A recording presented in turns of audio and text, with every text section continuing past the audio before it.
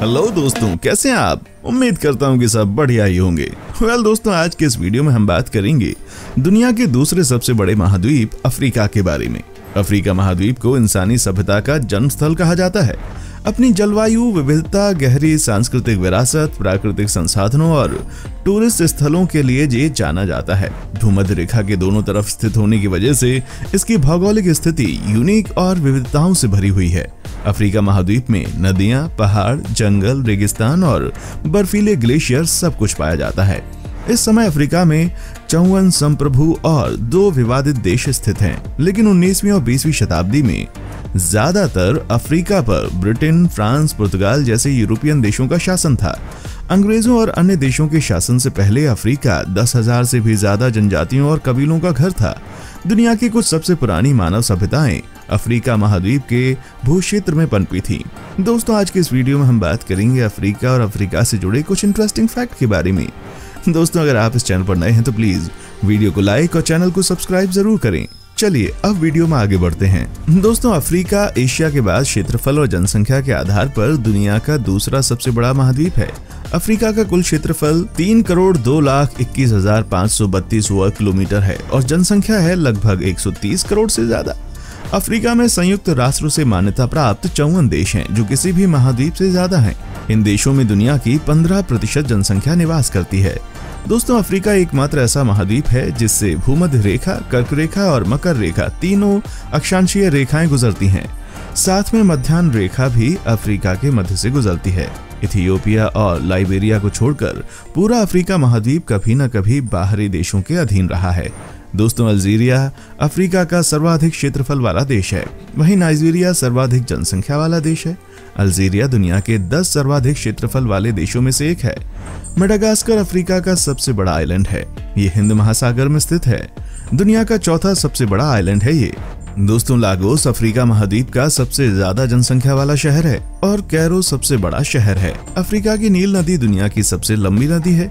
ये छह हज़ार आठ सौ बावन किलोमीटर लंबी है। नील नदी दो जगहों, तंजानिया और विक्टोरिया झील और इथियोपिया की टाना झील से निकलती है और इजिप्ट में जाकर समुद्र में मिल जाती है। दोस्तों, अफ्रीका यूरोप के दक्षिण में और एशिया के दक्षिण पश्चिम में स्थित है। अफ्रीका और एशिया इजिप्ट के पेनिनसुला पर आकर मिलते हैं। ज़्यादातर मैप्स में पेनिनसुला को एशिया का ही पार्ट दिखाया जाता है। अफ्रीका इस समय सबसे तेज गति से जनसंख्या वृद्धि वाला महाद्वीप है। तेज गति से बढ़ती जनसंख्या के साथ ही अफ्रीका में औसत आयु की दर विश्व में सबसे कम है। अफ्रीका में पुरुष की औसत आयु इकसठ वर्ष और महिलाओं की औसत आयु चौसठ वर्ष है। दोस्तों, अफ्रीका में दुनिया के सबसे ज़्यादा एचआईवी एड्स के रोगी हैं। पूरे अफ्रीका की दो तिहाई से भी ज़्यादा लोग इस बीमारी से पीड़ित हैं। तंजानिया के केनियन सीमा के पास स्थित माउंट किलिमंजारो अफ्रीका का सबसे ऊँचा पॉइंट है। अफ्रीका में स्थित ये एकमात्र ग्लेशियर है। दोस्तों, स्टडीज़ के अनुसार दुनिया की कुछ सबसे पुरानी मानव सभ्यताएँ अफ्रीका में विकसित हुईं। प्राचीन मिस्र की फेरोनिक सभ्यता दुनिया की सबसे प्राचीन और लंबे समय तक चलने वाली सभ्यताओं में से एक थी। औपनिवेशिक काल से पहले अफ्रीका में दस हज़ार से ज़्यादा विभिन्न भाषाओं और संस्कृतियों वाले जनजातीय समूह शासन करते थे। इस समय अफ्रीका में तीन हज़ार से ज़्यादा कबीले और जातीय समूह रहते हैं। दोस्तों, तंजानिया, युगांडा और केन्या की सीमा पर स्थित विक्टोरिया झील दुनिया की दूसरी सबसे बड़ी ताज़ा पानी की झील है। अफ्रीका में 16 देश पूरी तरह से जमीनी सीमाओं से घिरे हुए हैं। इन 16 देशों की सीमा ना तो हिंद महासागर से मिलती है और न ही अटलांटिक महासागर से। दोस्तों, अफ्रीका में लगभग 2000 से ज़्यादा भाषाएँ बोली जाती हैं। यूरोपीय देशों के आधिपत्य की वजह से इंग्लिश, फ्रेंच, पुर्तगीज आदि भाषाएँ ज़्यादातर क्षेत्रों में बोली और समझी जाती हैं। उत्तरी अफ्रीका में अरबी भाषा भी सरलता से बोली और समझी जाती है। दोस्तों, विक्टोरिया फॉल्स अफ्रीका का सबसे बड़ा पानी का झरना है। ये 355 मीटर ऊँचा और 1600 मीटर तक लंबा है। उत्तरी अफ्रीका में स्थित सहारा का रेगिस्तान दुनिया का सबसे बड़ा और गर्म मरुस्थल है। दोस्तों अफ्रीका महाद्वीप के ज़्यादातर लोग ईसाई या मुस्लिम हैं। लगभग 10 प्रतिशत लोग अपने स्थानीय पारंपरिक धर्मों का अनुसरण करते हैं। मॉरिशस ही इकलौता ऐसा देश है जिसमें लगभग 40 प्रतिशत जनसंख्या हिंदू है। दुनिया के कुल बचे हुए प्राकृतिक खनिज संसाधनों में से लगभग 30 प्रतिशत अफ्रीका में पाए जाते हैं। यहाँ ऑयल, डायमंड, सोना, तांबा, प्लेटिनम जैसे प्राकृतिक संसाधन पाए जाते हैं। दोस्तों अफ्रीका की पैंसठ प्रतिशत जनसंख्या कृषि पर आधारित है। यहाँ की फल, सब्ज़ी, मक्का, गेहूँ, कॉफ़ी इत्यादि कृषि पदार्थों की खेती की जाती है। जीडीपी के आधार पर अफ्रीका दुनिया का सबसे गरीब और कम जीडीपी वाला महाद्वीप है। दुनिया की कुल जीडीपी में इस महाद्वीप का केवल 2.4 प्रतिशत हिस्सा ही है। दोस्तों, अफ्रीका महाद्वीप की साक्षरता दर भी दुनिया में सबसे कम है।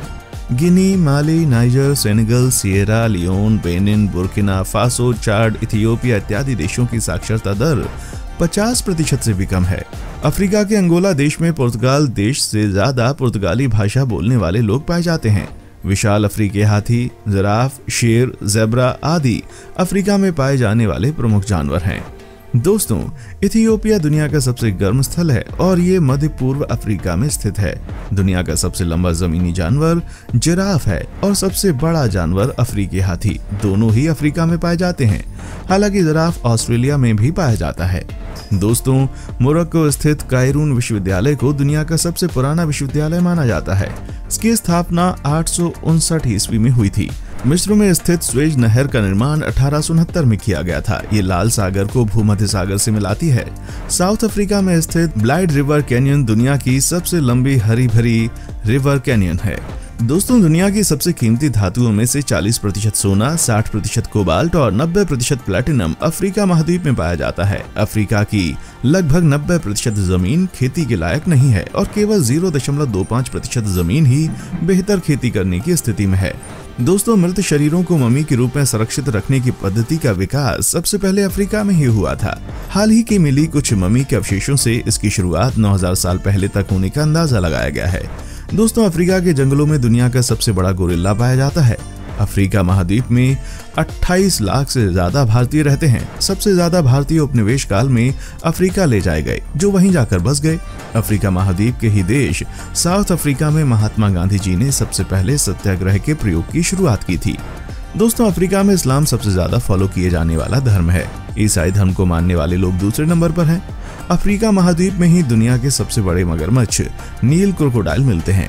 अफ्रीका को लंबे समय तक ब्लैक कॉन्टिनेंट के नाम से जाना गया। अभी भी अफ्रीका के ज़्यादातर देशों को तीसरी दुनिया का देश माना जाता है। दोस्तों, अफ्रीकी महाद्वीप को यूरोप से पृथक करने वाली जल संधि को जिब्राल्टर संधि के नाम से जाना जाता है। इथियोपिया, सोमालिया और जिबुती नाम के देशों वाले अफ्रीका के पूर्वी भाग को हॉर्न ऑफ़ अफ्रीका कहा जाता है। केप काहिरा रेल मार्ग अफ्रीका का सबसे बड़ा रेल मार्ग है। ये दक्षिण अफ्रीका देश के केपटाउन शहर से मिस्र के काहिरा तक जाता है। दोस्तों, साउथ अफ्रीका के जोहान्सबर्ग को स्वर्ण नगर और किम्बरले को हीरो का शहर कहा जाता है। किम्बरले खान विश्व की सबसे बड़ी हीरा खनन खान है। अफ्रीका में पाए जाने उष्ण घास के मैदानों को सवाना के मैदान और शीतोष्ण घास के मैदानों को वेल्ड कहा जाता है। दोस्तों, अफ्रीका के मध्य पूर्व में समुद्र किनारे स्थित सोमालिया देश, वहाँ के समुद्री लुटेरों के लिए कुख्यात है। सोमालिया देश के समुद्री लुटेरे आए दिन किसी न किसी जहाज़ को लूटकर उसके कर्मचारियों को बंधक बना लेते हैं। आधे से ज़्यादा अफ्रीका महाद्वीप घास के मैदानों या फिर रेगिस्तान से ढका हुआ है। दोस्तों, अंग्रेज़ों के आने से बहुत पहले से अरब के लोगों ने अफ्रीकी लोगों को गुलाम बनाकर अपने साथ ले जाना शुरू कर दिया था। पांचवी सदी से ही अरब के लोग उत्तरी अफ्रीका में रहने वाली जनजातियों के लोगों को गुलाम बनाकर खरीद फरोख्त करने लगे थे। वेल well, दोस्तों डू यू नो अफ्रीका की जनजाति का जीवन भी बेहद ही रोचक है। दोस्तों अब आपको अफ्रीका में रहने वाली कुछ बेहद ही खतरनाक जनजातियों के बारे में मैं बताता हूँ। हिम्बा जनजाति। दोस्तों कुनैन प्रांत में रहने वाली हिम्बा जनजाति में कुल बीस हज़ार से पचास हज़ार लोग हैं। हिम्बा ट्राइब की महिलाओं को अफ्रीका की सबसे खूबसूरत महिलाएँ कहा जाता है। लेकिन आपको बता दें कि इस ट्राइब की महिलाओं को नहाने की इजाज़त नहीं है। इतना ही नहीं ये महिलाएँ हाथ तक धोने के लिए पानी का इस्तेमाल नहीं कर सकती। हालाँकि खुद को साफ़ सुथरा रखने के लिए इन महिलाओं का अपना एक खास तरीका है। हिम्बा जनजाति की महिलाएँ नहाने की जगह खास जड़ी बूटियों को पानी में उबालकर उसके धुएँ से अपनी बॉडी को फ्रेश रखती हैं, ताकि उनसे बदबू ना आए। इस हर्ब की खुशबू से इनकी बॉडी कभी ना नहाने के बाद भी अच्छी स्मेल करती है। इस ट्राइब की महिलाएँ अपनी स्किन को धूप से बचाने के लिए खास तरह के लोशन का इस्तेमाल करती हैं। ये लोशन जानवर की चर्बी और हेमेटाइट के घोल से तैयार किया जाता है। हेमेटाइट के धूल की वजह से उनके स्किन का रंग लाल हो जाता है। यह खास लोशन उन्हें कीड़ों के काटने से भी बचाता है। इन महिलाओं को रेड मैन के नाम से भी जाना जाता है। मत्स्य जनजाति। दोस्तों अफ्रीका की मसाई जनजाति अपने अनोखे कल्चर को ज़िंदा रखने के लिए हज़ारों सालों के बाद भी आज भी बिना आधुनिक संसाधनों के जीवन गुजार रही है। मसाई जनजाति को चरवाहों और योद्धाओं के रूप में जाना जाता है। ये जनजाति तंजानिया और केन्या के जंगली रेगिस्तानी इलाकों में निवास करती है। इस जनजाति के लोग सरकारी नियम और कानून पर नहीं चलते, बल्कि इनके अपने बनाए मौखिक नियम कायदे हैं, जो इनकी ज़िंदगी के सभी पहलुओं को समेटे हुए हैं। मसाई समुदाय में समूह का बुज़ुर्ग पुरुष मुखिया होता है और उसी के फैसले माने जाते हैं। जुलू ट्राइब, दोस्तों दक्षिण अफ्रीका की जुलू जनजाति में उमेमुलो नाम की एक अनोखी परंपरा है। कई दशकों से चली आ रही है। इसके अनुसार अगर महिलाएँ 21 साल की उम्र होने तक वर्जिन रहती हैं तो इसे खास अंदाज में सेलिब्रेट किया जाता है। पूरा परिवार इस बात का जश्न मनाता है। लड़की के सम्मान में जानवर की बलि चढ़ाई जाती है और उसे काफ़ी पैसे और गिफ्ट भी मिलते हैं। कारो ट्राइब, इथियोपिया। दोस्तों इथियोपिया में रहने वाले कारो समुदाय के लोग बीमार बच्चों को श्रापित मानते हैं। यहाँ कमज़ोर या दिव्यांग बच्चों को श्रापित माना जाता है। माँ बाप बच्चे के बीमार होने पर उसे डॉक्टर के पास नहीं ले जाते, ना खिला पिलाकर उसकी सेहत सुधारने की कोशिश करते हैं। यहाँ ऐसे बच्चों को सीधा मार दिया जाता है। अगर माँ बाप की सहमति ना मिले तो गाँव वाले ही ज़बरदस्ती बच्चों को मौत के घाट उतार देते हैं। कारो समुदाय के लोग बीमार बच्चों को श्रापित मानते हैं। इसके अलावा अगर कोई बच्चा कमज़ोर है, दिव्यांग है तो वो भी श्रापित माना जाता है।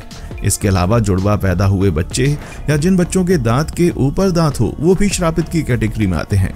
गाँव वालों का मानना है कि अगर इन बच्चों को ज़िंदा छोड़ दिया गया तो गाँव में प्रलय आ जाएगी, महामारी फैल जाएगी और गाँव वालों की मौत हो जाएगी, इसलिए इन बच्चों को मार दिया जाता है। तो दोस्तों, आज की वीडियो में बस इतना ही। कैसा लगा आज का लेटेस्ट एपिसोड? उम्मीद करता हूँ आपको पसंद आया होगा। साथ ही अगर आपको इस वीडियो पर अपनी कुछ राय देनी है तो हमें कमेंट ज़रूर करें। हमें आपके कमेंट्स का इंतज़ार रहेगा। मिलते हैं अगले वीडियो में। देखने के लिए शुक्रिया।